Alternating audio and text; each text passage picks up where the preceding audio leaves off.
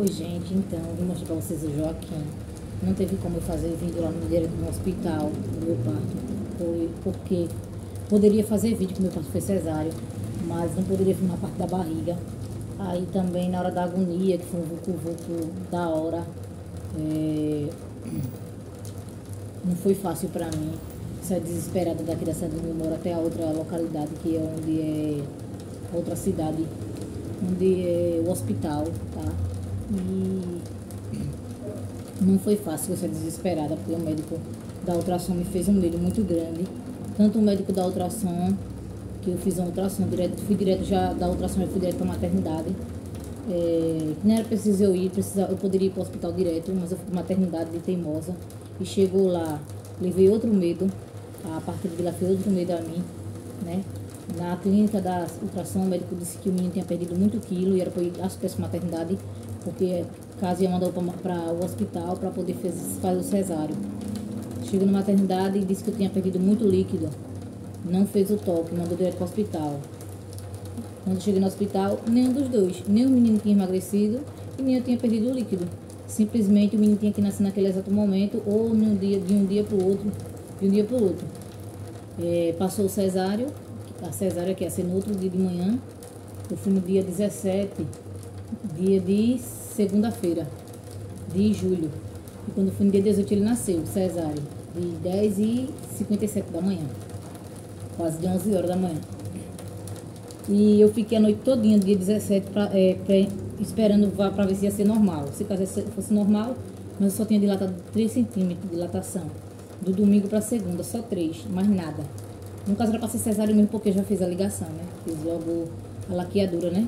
É, já estou operada, graças a Deus. E hoje nós estamos com 24 dias. Por que, que eu vim hoje é, fazer esse vídeo para vocês? Porque eu estava sem tempo, gente. Ontem mesmo foi uma luta.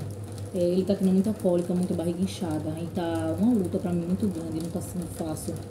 É, até a tia dele está vindo me ajudar bastante, as tia dele. E não tá fácil. Olha, ele tá mais calminho agora. Mas ontem ele não estava chorando, ele estava gritando dor mesmo, a barriga inchada. A barriguinha dele sempre fica fervendo, aquela, aquela, aquele barulhinho, porque sempre está inchadinha. Aí eu comprei remédio para ele ontem, muito bom. Caro e bom também. E a gente começou a dar ele ontem, mas ele vomitou, depois com o tempo. Nós fomos umas duas horas e pouco, ele vomitou, botou para fora. Mas para mim eu garanto, eu acho que eh, ainda ficou remédio dentro da barriguinha dele, porque graças a Deus não usou de madrugada. É, não abusou tanto. Tipo, ele só pediu peito, arrotou, botei ele na caminha dele e dormi sozinho, porque eu sempre fico assim, ó, balançando ele pra ele dormir. E ontem eu tava tão cansada, ontem não, hoje de madrugada eu tava tão cansada que ele dormiu sozinho. Meu esposo disse, bota ele na cama, no becinho dele, deu becinho portátil na cama. Que ele dorme sozinho. Eu peguei e botei ele dormir só. Aí meu esposo ficou olhando ele e já tinha dormido de todo sono que eu tava. Meu esposo ficou de olho nele. É assim, quando eu tô com muito sono, meu esposo fica de olho nele. Aí pega ele, balança, bota pra rotar. É. Ah, ele me ajuda bastante, tá fazendo tudo pra mim dentro de casa, não tô fazendo nada ainda, tô com 24 dias hoje. É, meu esposo tá fazendo tudo, tudo, tudo. E lavando roupa do bebê, fazendo as coisas dentro de casa. É porque não tenho tempo pra filmar, gente, mas eu queria filmar pra vocês ele fazendo tudo dentro de casa. Ele é um outro marido pra mim, viu? Não é todos não. É difícil de hoje você encontrar um marido assim, que faça as coisas pra você, que lhe ajude. E ele me ajuda muito, eu tenho que agradecer muito a Deus por ter ele na minha vida, né? Então, eu vou mostrar vocês o Joaquim. Ó, 24 dias né, Joaquim? Tá ficando loirinho, tá ficando com olho azul. Tá ficando, já tá com olhinho azul. Ele, ele é um menino esperto, gente, muito espertinho. Ele fica brincando, é, ele fica, ele quer que a gente fique com ele pulando, bota ele pra pular. Só vocês vendo, parece que até que ele tem dois meses, mas ainda vai fazer um mês, dia 18. Então é isso, gente. Eu vou falar um pouco do meu relato do parto pra vocês, porque não foi nada fácil, por isso que eu não filmei pra vocês. Mas eu ainda tenho. Vou postar umas fotinhas pra vocês. E.